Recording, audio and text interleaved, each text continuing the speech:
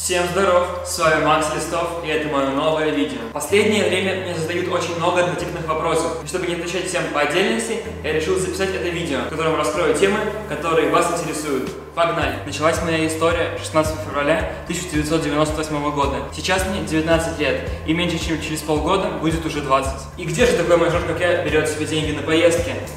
Первый мой заработок это были съемки бэкстейдж видео в 2013 году, когда я еще учился в восьмом классе. Мой брат Женя Фист 10 лет занимался фотосъемками, и именно он меня потянул в эту тему, когда позвал снять ему такое как раз видео про то, как проходит его съемка. Главное, даже за пару часов работы заплатил что-то около тысячи рублей. Но сейчас Женя уже снимает кадры только для инстаграма своей жены и ведет свой. Ну а я занимаюсь съемками любой сложности. Снимаю стритстайл на неделях моды, делаю портретные съемки, репортажи с каких-то мероприятий, даже пару раз снимал свадьбу, лукбуки для шоурумов, продающие кадры для отелей, кафе, ресторанов, снимаю меню, еду, делаю съемки с коптера для всяких объектов, которые находятся на природе, либо в городе, жилые комплексы. Перечислять можно очень долго. Одним словом, снимаю. Также занимаюсь SMM. Расшифровывается это как Social Media Marketing, то есть ведение продвижение страниц в социальных сетях каких-то компаний, брендов или личностей. Ну и последнее – это коучинг то есть обучение в сферах, в которых я чувствую экспертность. Провожу индивидуальное обучение по съемке и обработке фотографий. У меня есть курс по монтажу видео, созданию контента на YouTube, ведению и продвижению персональных и коммерческих аккаунтов в Инстаграме. Также у меня есть групповой онлайн-курс по мобилографии, то есть по съемке и обработке фото на телефоне, в котором можно узнать какими программами лучше пользоваться, полностью инструкцию, как лучше действовать для обработки той или иной фотографии. Если вам это интересно, то пишите в директ или на почту. В данный момент съемки, SMM и коучинг являются основным источником моего дохода. И именно таким образом я генерирую деньги на свои поездки. Кстати, про поездки. Очень часто спрашивают, как я строю маршруты и ищу те или иные интересные места. Обычно у меня есть ключевые точки, которые хочется посетить. Ищу их по локациям в Инстаграме и по тегам. Либо просто в Гугле сижу часами в поисках интересных для меня мест. Что-то узнаю при общении с новыми людьми. И сразу же записываю телефон в заметки, чтобы это не забыть. Так вот, нашли мы ключевые точки, их я начинаю забивать на карте.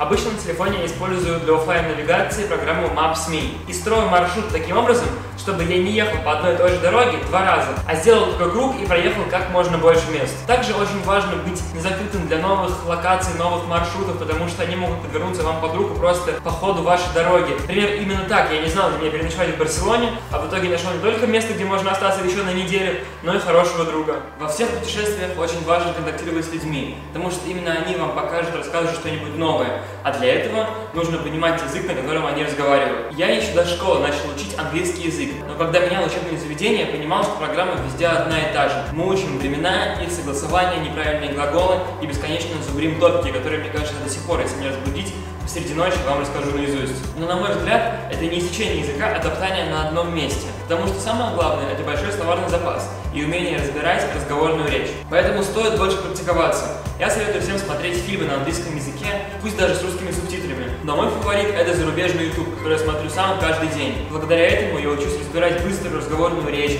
узнаю какие-то новые слова, сленг, которого там очень много. Так что просто найдите блогеров, с которыми вам интересно следить, и вперед. Ну а ссылки на тех, кого смотрю я, я оставлю в описании к этому видео. После поездки в Дагестан меня стали часто спрашивать, не планировал ли я посетить то или иное место, какой-то город или село. Но нет. Когда я запланирую поездку в какое-то место, в какую-то область или край, или страну, я обязательно об этом сообщу у себя в инстастории. И тогда я с радостью посещу места, которые вы мне советуете. Так что просто следите за моими историями в Инстаграме. Я уже не представляю свою жизнь без техники, дрона и камер. Это мой главный инструмент для творческой реализации, зарабатывания денег и создания интересного контента. Так что главный вопрос, на что же я снимаю? Пойдем по порядку. Canon 5D Mark III с объективом 2472 версии – это моя основная камера, которой я сейчас снимаю это видео. Так что все свои фотосъемки я делаю именно на этот комплект. Также его использую для видеопроектов, где не требуется 4К, например, как это видео. Что сказать, вечно неубиваемая камера, которая уже стала классикой. Объектив резкий, цветопередача хороший, также большой диапазон фокусного расстояния у объектива. Снимаю сейчас на него все, от стрит-стайла до съемок на природе. Также у меня есть еще несколько объективов. Canon 1855, Canon 50 мм 1.8 и блинчик Canon 40 мм 2.8. Вот именно на него я раньше снимал на 7D Mark II, но когда перешел на full frame, за год ни разу им не пользовался, хотя объектив на самом деле очень хороший. А эти два лежат больше для коллекции, на них я очень редко снимаю. Итак, идем дальше. Canon 70D с объективом 10-18, это моя камера для влогов. Также использую микрофон Rode Video Micro, на который пишет звук сейчас. И штатив Gorilla Pod Focus, который очень удобно использовать для влогов. Так что именно это и является моим основным сетапом для видео. Отличный следящий автофокус, хорошее фокусное расстояние 10-18, что даже на кропе комфортно все видно, не надо слишком сильно вытягивать руку. Чистый звук с внешнего микрофона, удобный штатив, который можно закрепить куда угодно. Так что, как вы поняли, я за качество. iPhone 7 Plus.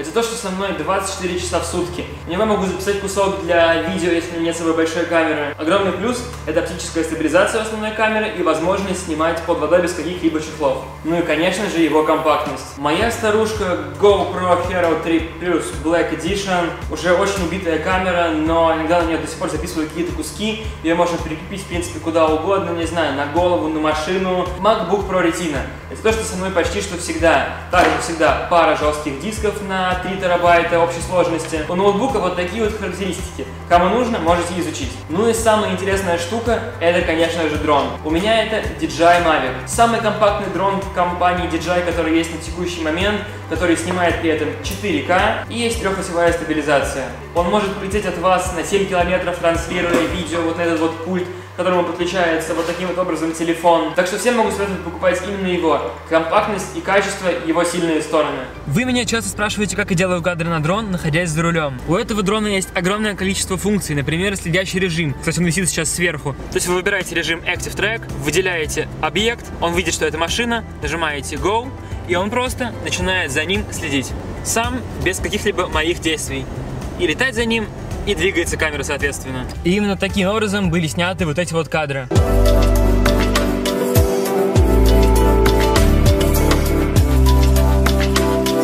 Но все-таки иногда приходится рулить коленкой, как я делаю сейчас. И чтобы сделать красивый паралет, лучше все-таки сделать это самостоятельно. Потому что дрон просто сам не успевает физически понять, как быстро я еду и куда я хочу повернуть дальше. Итак, с техникой разобрались.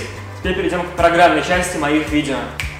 Все свои влоги я монтирую в Final Cut Pro X именно на этом MacBook. Все, ничего больше я не использую. Крашу, склеиваю, накладываю эффекты, все в одной программе. Музыка – неотъемлемая часть моих видео. Именно она дополняет видео и создает атмосферу, которую я хочу передать. Да еще и авторское право важно соблюдать, чтобы YouTube не заблокировал ваше видео. И где же я беру треки? Я использую не так много сервисов. Это ВКонтакте, группы, которые называются без авторского права. Я состою, сука, в пяти, часто мониторю их на годноту. Также есть знакомые, которые пишут треки, часто использую в своих видео их музыку. На YouTube по такой же же схеме есть каналы, которые публикуют музыку без авторского права, которые можно использовать в своих видео. Ну и SoundCloud.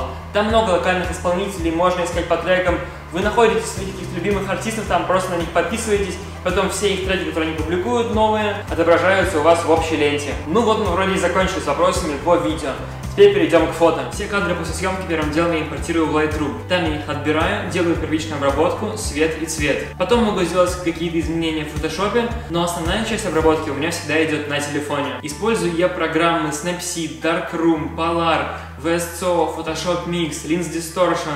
Именно эти все программы позволяют добиться хорошего эффекта и сделать качественную фотографию. Не забываем, что узнать, что каждый из них делает и в какой последовательности ими лучше пользоваться, можно в моих онлайн-курсах по обработке. Ну а для обработки фотографий свой второй аккаунт ML Story я использую программу Square Edit для того, чтобы сделать кадры в квадрате, но в полном размере. Ну, короче, вы поняли. На этом вроде как все. Если вам понравилось это видео, то подписывайтесь на канал, ставьте лайки, нажимайте на колокольчик, чтобы не пропустить новое видео. И всем пока, творите, развивайтесь, изучайте. С вами был Макс Листов. Увидимся в следующем видео.